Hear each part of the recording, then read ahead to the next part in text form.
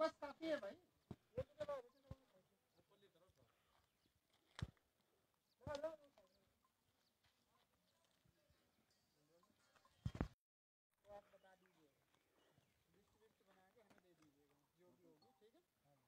Mostly तो इसमें corona positive को ही हम देंगे लेकिन फिर भी कोई ज़्यादा ही गरीब है और ये लगभग जो हमारा रहता है कंटेनमेंट जोन ये रहता है चौबीस दिन ये चौबीस दिन के लिए सील किया गया है गाँव आपका ठीक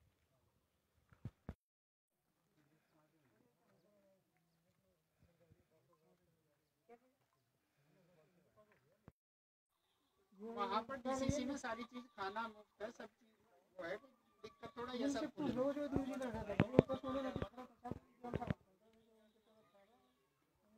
आज तहसील चौबट्टा खाल के विकासखंड पोखड़ा के अंतर्गत स्थित मज गाँव में लगभग 32 लोग कोरोना पॉजिटिव आए हैं।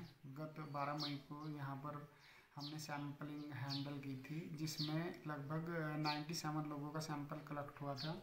सभी कोरोना पॉजिटिव को हमने होम आइसोलेट कर दिया है।